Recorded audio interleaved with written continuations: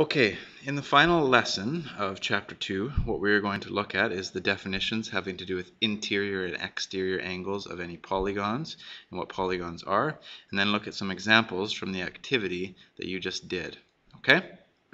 so,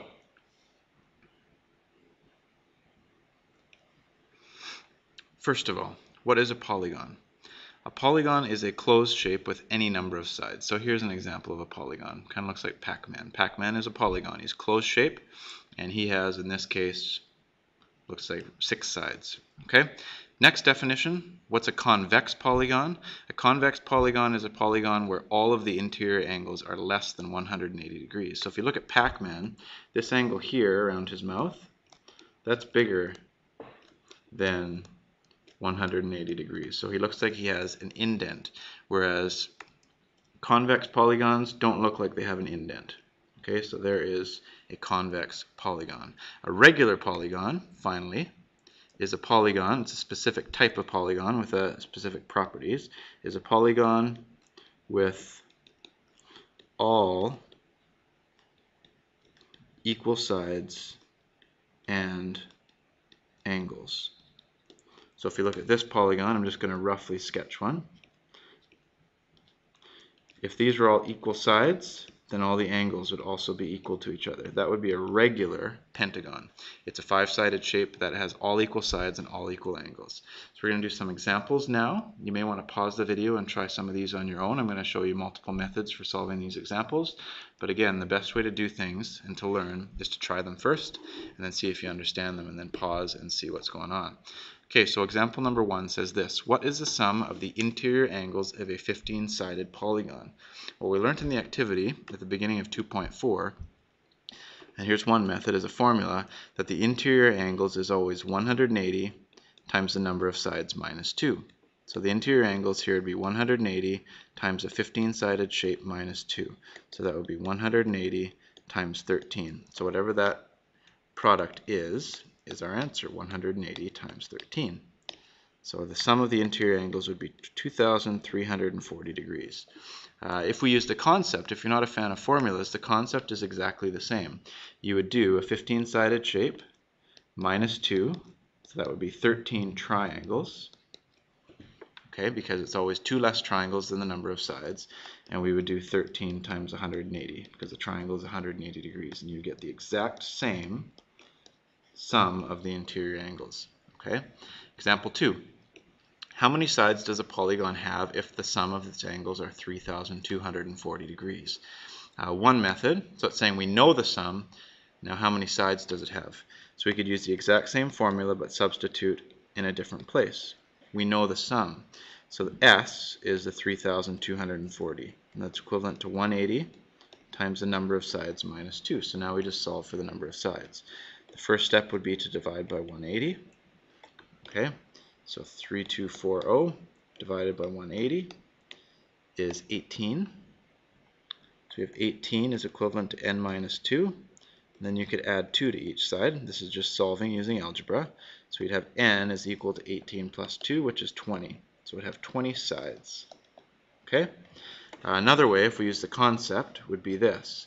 If we do 3,240 divided by 180, that would give us the number of triangles, and that's going to be 18. So 18 triangles. So if we have 18 triangles in a polygon, the number of sides would be 2 greater. So if you do 18 plus 2, because that would give you the number of sides, that would also give you 20 sides. So either way, whether you use a formula or the concept, you get the same answer. Example 3 says determine the measure of each interior angle of a regular hexagon. So I drew a six-sided shape, that's a hexagon, where all the sides are equal. What that means is that all the angles are equal. So if I could find the sum, and the sum of all the angles is going to be 180 times n minus 2. If you like the concept, it would be 180 uh, times the number of triangles. So the number of triangles would be 6 minus 2. So the sum of all the angles is 180 times 4, which is 720 degrees. So all of these angles add up to 720 degrees. But the question says determine the measure of each angle. So there are six angles. So if we take the sum of all the angles and divide it by 6, we will get what each angle is. So each interior angle would be 120 degrees. Uh, a couple more examples. This is an interesting one. It says, how many sides does a regular polygon have if each interior angle is 135 degrees? Now this would be tricky using a formula. So we know that we've got some sort of regular polygon where each interior angle is 135 degrees. What we don't know is how many sides it has.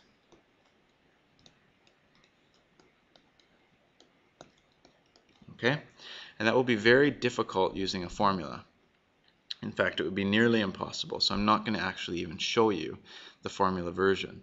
The easiest way to do this is for you to remember that the exterior angles, so if you remember, let me just show you an example here, that all these exterior angles, A, B, C, D, E, F, and G, they add up to 360. So exterior angles equal 360 degrees. Now let's find out why that's useful. If I have a polygon where each interior angle is 135 degrees, what is the measure of each exterior angle? And you may want to pause this and calculate what each exterior angle is. Okay, I hope you found out that all of these exterior angles are 45 degrees.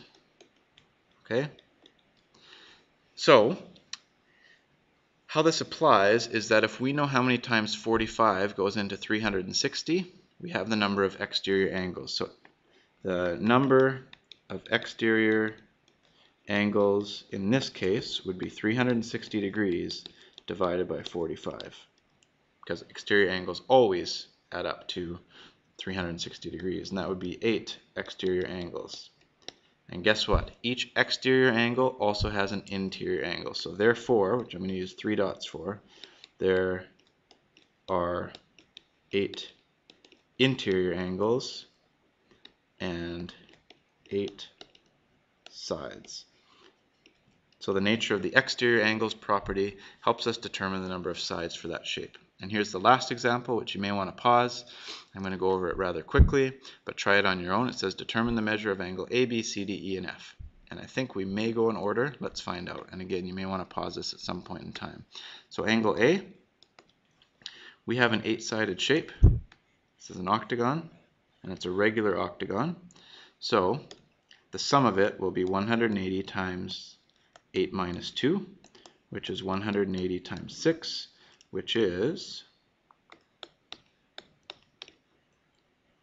1080 degrees. That's the sum of an octagon. So now we need to divide that by 8 and we'll get what angle A is. That's 135 degrees. Okay, so angle A is 135 degrees. Angle B, we would also note that this angle here would be 135 degrees because all of the angles, the interior angles of this octagon would be 135 degrees. But if you look at this shape here, this is an isosceles triangle. So what that means is that angle B is equal to angle C. And it's a triangle. So angle B would be 180 degrees. That's the sum of a triangle minus 135. So the sum of angle B and C is 45 degrees, but we need to divide it by 2. So 45 divided by 2 would be 22.5 degrees each. So angle B and angle C would both be 22.5 degrees. Okay, because it's the sum of an isosceles triangle, and we know that the obtuse angle is 135 degrees.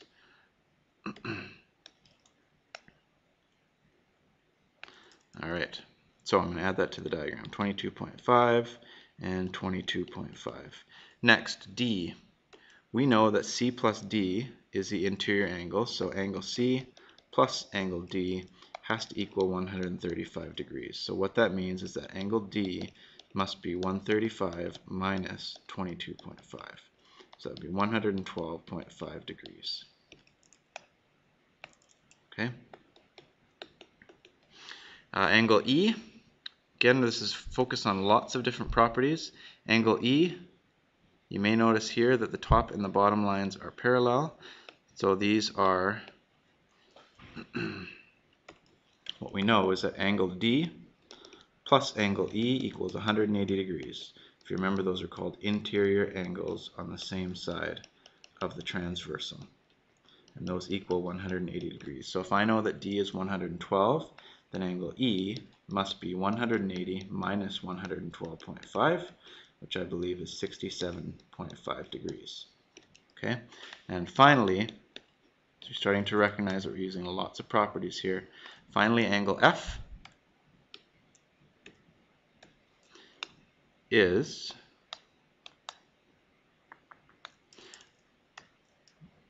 given the nature that f plus e plus b equals the interior angle of the octagon. So we know that angle f plus e plus b has to be 135 degrees. So angle f would be equivalent to 135 minus 67.5 minus 22.5 degrees, and that would be a grand total of 45 degrees.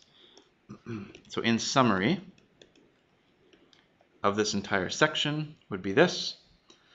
The sum of the interior angles of a polygon is 180 times the number of sides minus 2. Secondly, the measure of each interior angle of a regular polygon. So each interior angle of a regular polygon is the sum of all the angles divided by the number of angles. So each would be equal. And finally is that the sum of the exterior angles of a polygon is always 360 degrees. So what you're going to do now is move on to the next part of your study guide. So do the following questions and get Mr. Martens to initial them for correctness.